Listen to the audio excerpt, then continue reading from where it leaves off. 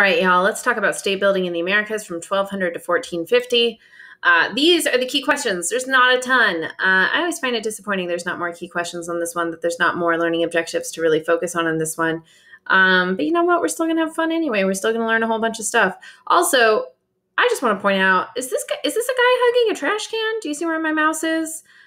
I like is that a man? Uh, i can't tell. I've never noticed it before but i started to record this video and i was like it really looks like that's a person hugging a trash can. I hope they're okay.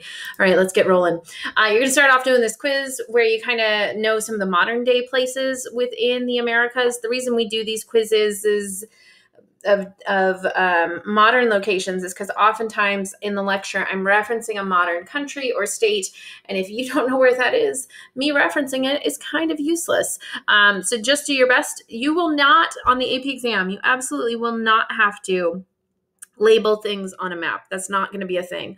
You will have maps put in front of you though, and if you can recognize what some of those places are, it will make it easier to use the map as a stimulus, um, or if there's a map on the document-based question, those things will really help you out. So let's talk about the Mayans. Now, this is another one of those times because this unit is just a, a, a, big hot mess. I love it though because there's just so much you get to learn. Um, or we're going to learn about stuff that's before the year 1200 in order to give ourselves some historical context. So the Mayans are going to reach their height around 250 to 900 CE.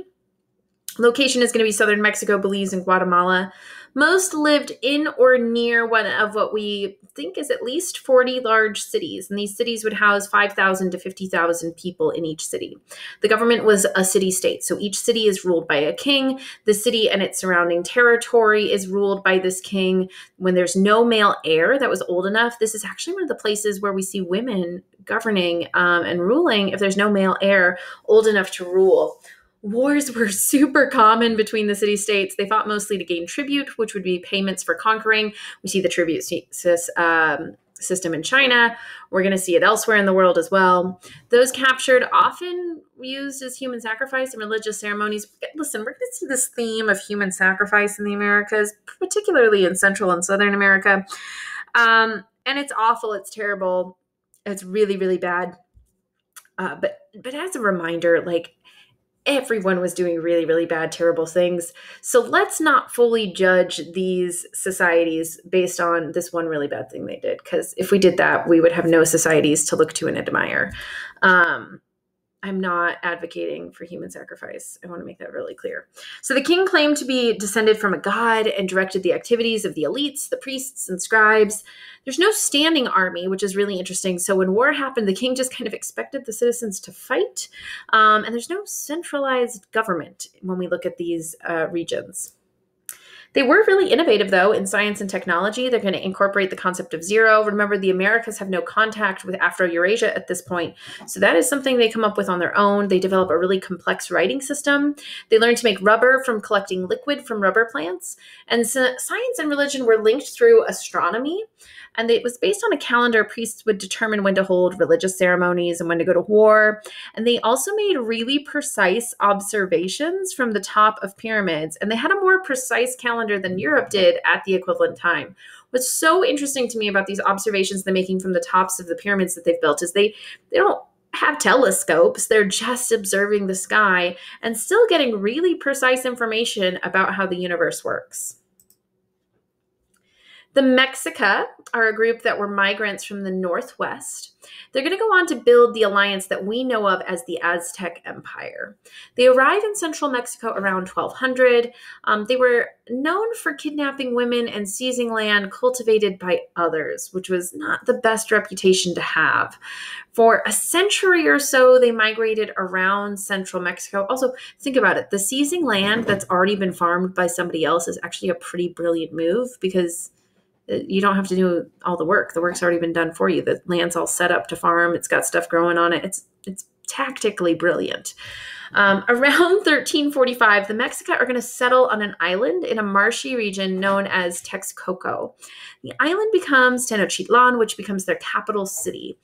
It had a lake around it that had plenty of fish and frogs and waterfowl. They're going to dredge the lake for fertile muck. So, what that means is they're pulling up the muck and the mud from the bottom of the lake, and they're using that in order to fertilize their agriculture. It's pretty brilliant because there's so many nutrients in that muck at the bottom of the lake. They're going to plant on plots of land that we want to think of as like floating gardens. They weren't actually floating, but they looked like they were floating because they would um, they'd stack up the soil until the soil went above the water level, basically making little islands to grow on. Um, and so it looked like these gardens would look like floating gardens all throughout the lake. They used a canal system to get water from lake to plots of lands. They protected, uh, it was protected on all sides by water, this capital city. And the Mexica warriors patrolled the caseways or the ways that you could get in and out. I'm so sorry if you can hear my cats fighting in the background. They're playing. They're not fighting, they're playing.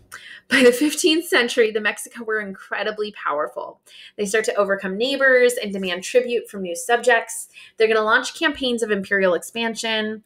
And we see some of the leaders lead these conquering campaigns to Oaxaca, where they slayed inhabitants and left colonists behind to rule, um, which is really what we, when we talk about an empire, that's what we're talking about is a country or a, a, a government going out, taking over another place, and leaving people behind to rule that place. They're going to conquer more land around the Gulf Coast as well. By the mid 15th century, they're going to be allied with two neighboring cities, and it's going to create the Triple Alliance that is what we truly refer to as the Aztec Empire. The, they're going to rule. Um, the Aztec Empire is going to be ruled by the Mexica and Tenochtitlan. They will rule over 12 million people and most of Mesoamerica. The main reason for the alliance was to get tribute from those they ruled food, knives, rabbit fur blankets, jewelry, embroidered cloth. The Aztec did not have a bureaucracy and they did not change local governments when they took over.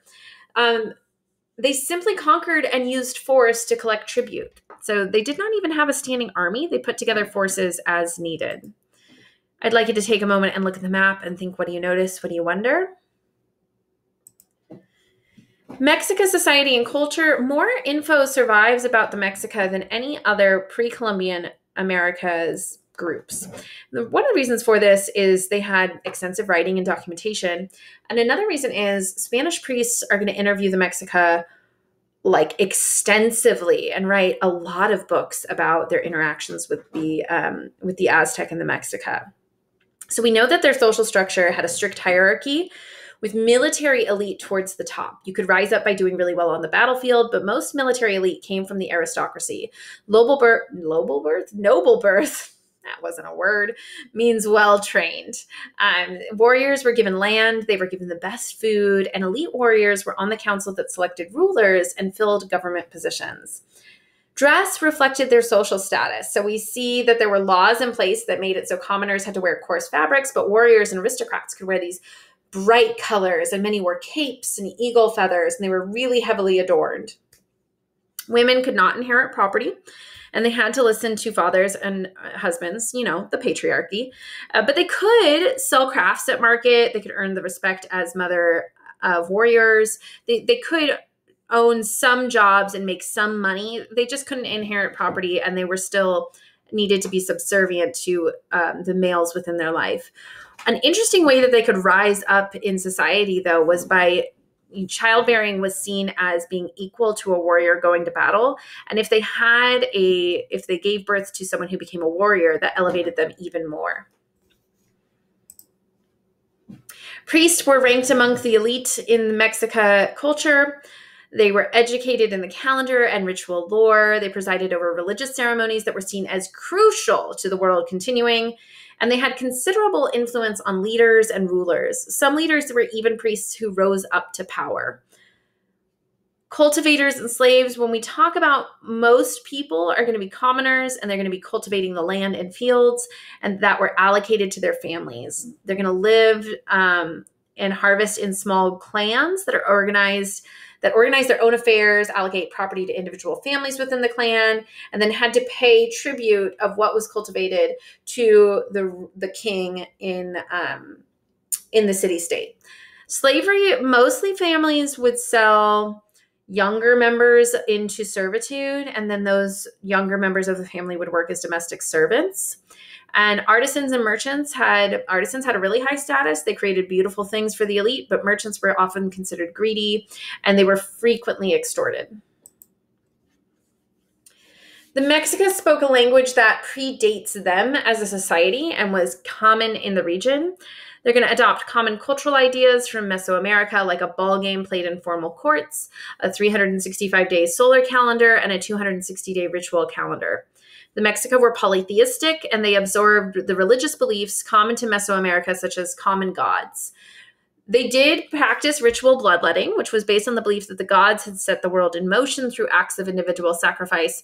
So, Mexica priests re- regularly performed acts of self sacrifice, such as piercing their earlobes with cactus spines.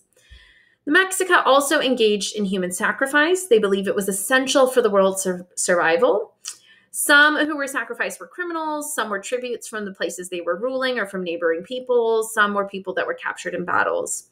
They believed that the blood sacrifice would sustain the sun and ensure moisture for the earth. So they truly saw these sacrifices as essential for the world continuing on.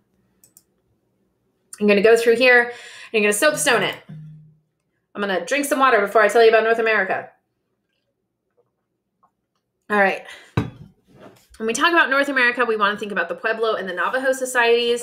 They're going to be found in the American Southwest. Hey, that's where we live. They're going to use um, river water for irrigation, and they're going to be able to settle in agricultural communities and, and really settle down and build up communities. Some examples would be Mesa Verde, which they built multi multi-story homes into the sides of cliffs using bricks made of sandstone.